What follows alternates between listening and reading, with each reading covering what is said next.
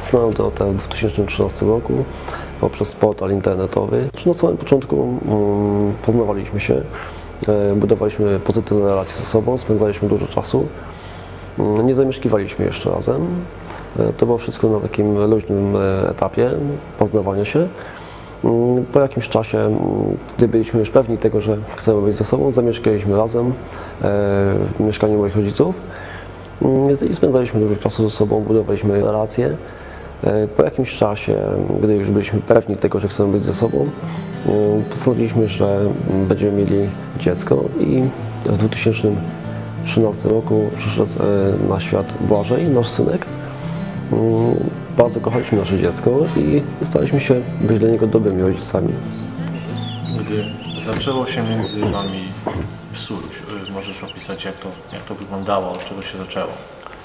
E, To znaczy zaczęło się od tego, że e, za każdym razem między nami jakieś były mm, problemy, nie mogliśmy się wspólnie dogadać. Mm, Za każdym razem mm, z danego problemu nastał coraz większy. Ja nie wiedziałem o tym, że, że między nami to wszystko się coraz bardziej psuje. Dowiedziałem się dopiero, mm, gdy pojawiła się sprawa o ustalenie moich kontaktów z dzieckiem. E, W tym czasie mm, dopiero od sądu dowiedziałem się o tym, że moja partnerka e, uczęszczała do ośrodka interwencji kryzysowej mm, i tam po prostu poprzez rozmowy z psychologiem opowiadała, jakim ja jestem złym człowiekiem, jak bardzo zaniedbuję rodzinę i, i po prostu nie nadaje się e, na dobrego ojca.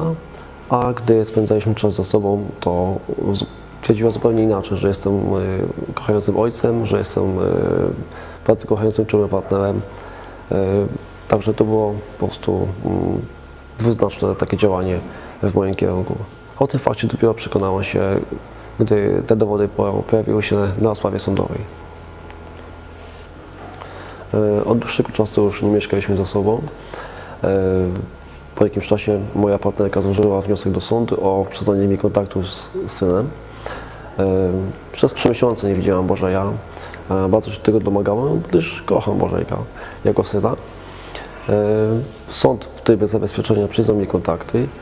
Mm, Oczywiście te kontakty odbywały się w miejscu zamieszkania e, Doroty. Przyjeżdżałem tam, mogłem w ciągu dwóch godzin wyjść z dzieckiem na spacer i budowałem z nim pozytywne relacje. Syn bardzo był za mną i ja byłem jako ojciec bardzo za Bożejkiem, gdyż, gdyż bardzo go kochałem i kocham go nadal. E, 12 lutego 2014 roku e, zabrałem syna do siebie, gdyż zauważyłem e, nienależytą higienę dziecka. E, Powtarzające się stany zapalne skóry, krocza, e, się na skórka. Mm, Syn też przejawiał objawy mm, agresji w stosunku do otoczenia. Podchodził do mnie, gdy przyjeżdżałem e, widywać się z dzieckiem. Bił mnie po rękach, rzucał zabawkami, wpadał w histerię, e, biegał po swoim pokoju, e, był agresywny. Nawet osoby, które przychodziły w tym momencie do pokoju dziecka, też tą sytuację zauważały. Boże rzucał w nie zabawkami. Nawet pani, która została przydzielona celem nadzorowania tej rodziny, też taką sytuację zauważyła. Był to pracownik e, opiekun rodziny.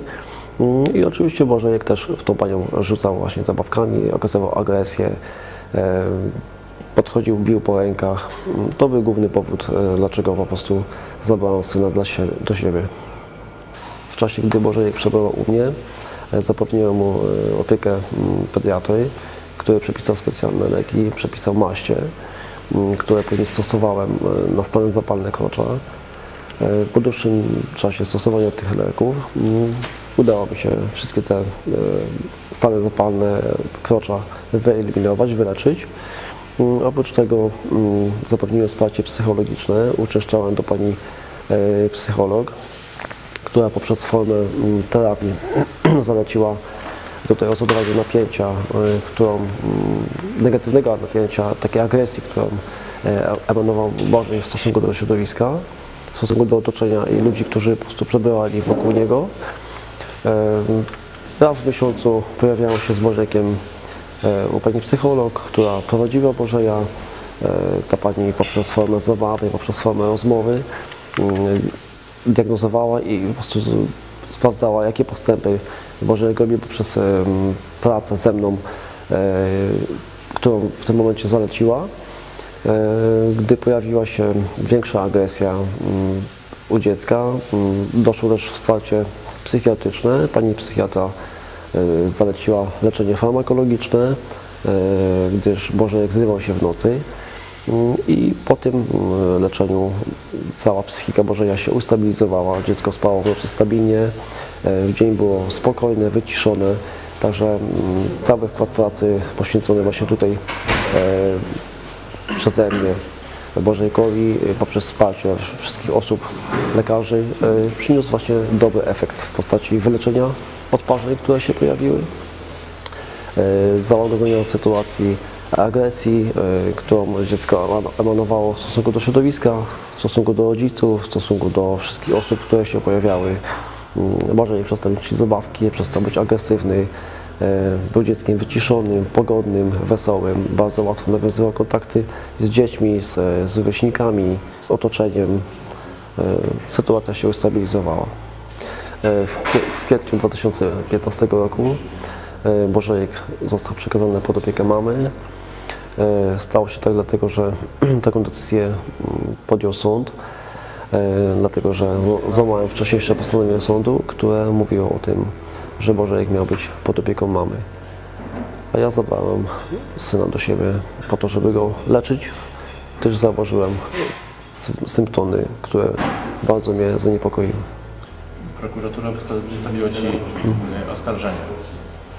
Tak, oczywiście prokuratura postawiła mi akt oskarżenia za to, że zatrzymałem e, Bożejka u siebie. Mm, Nie brała pod uwagę tego, e, że tłumaczyłem, że było to podyktowane tylko i wyłącznie mm, dobrem dziecka, że posunąłem się do tego, do tego, że nikt nie chciał mi pomóc, a zauważyłem, że Błażej tej pomocy potrzebuje i tę pomoc mu zaofiarowałem.